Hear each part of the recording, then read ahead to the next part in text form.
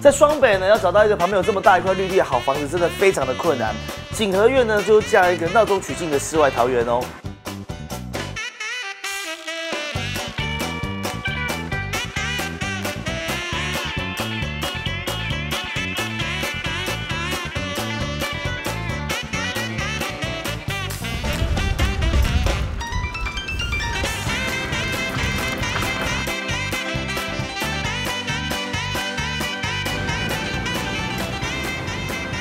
新北中和现在是工作人口密集地区，对新屋需求极为强劲。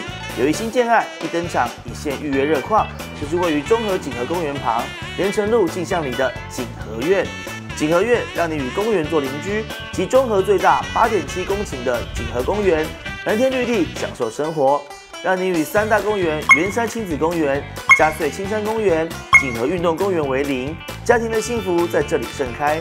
邻近还有中和国民运动中心。随时前来活动筋骨，挥洒汗水，活力你的身心。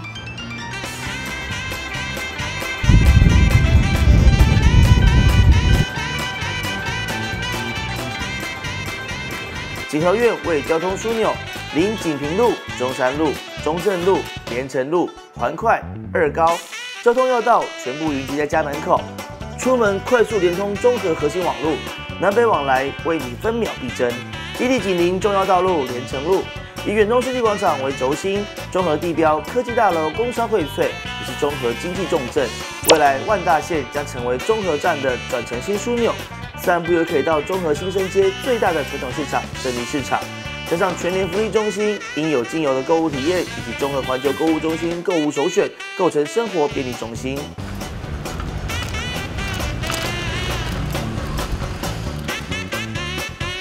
你好，欢迎参观。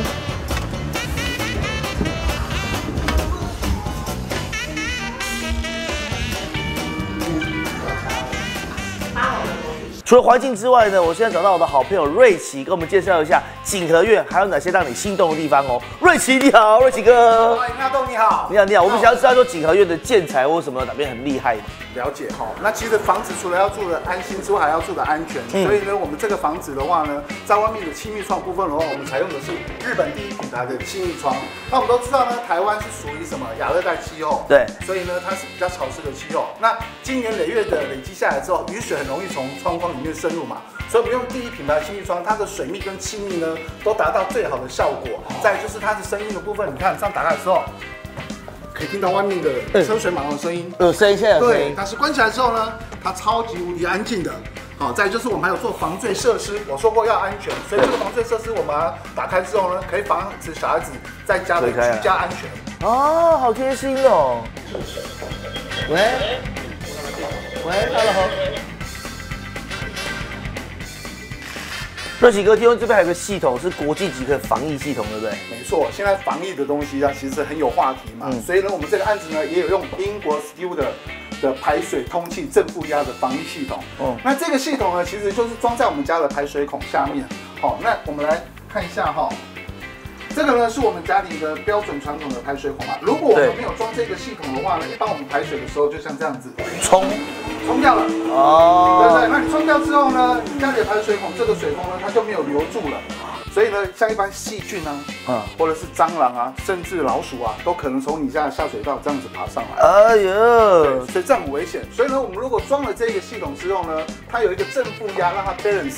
如果我们这样排水的时候，你会发现它一样会排水，嗯，但是呢，它保存它的水风。那水风在的时候呢，像细菌啊，哦，蟑螂啊，还有老鼠这些的话。就不会这样子跑到我们家里了哦，这个就变成天然的屏障这样子。错，所以现在很多像比方说雪梨的歌剧院啊、欧盟总部啊，甚至 NASA 太空总署啊，都有用这样子的一个系统，然后做到防疫的功能。好高级哦！其实这个真的不不讲都不知道哎。是啊，对啊，小东西有大作用。超，哎，这个超厉害。这个就是在那个砖的，然后它这边其实看这个是跟。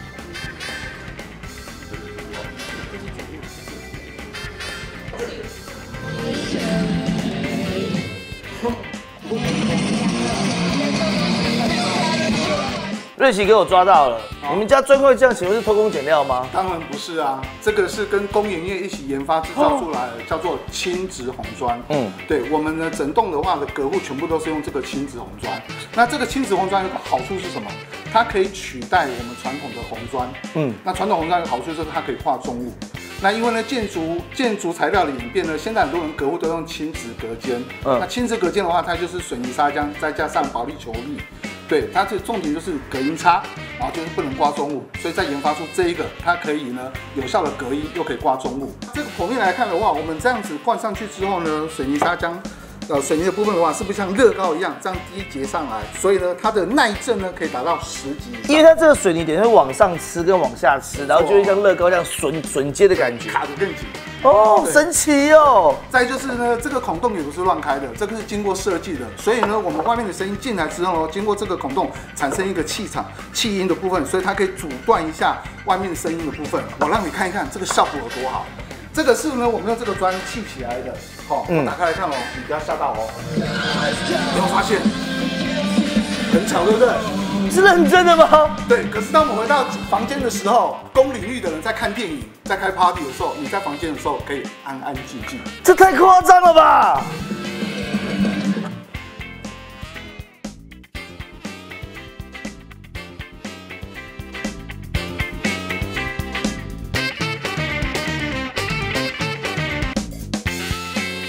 个房子的隔音真的非常重要，因为如果你在一个隔音很好的地方的话，你会觉得回到家好像就进入到另外一个世界、另外一个空间。来这个阶段是蛮蛮开，就是好像来上建材课一样。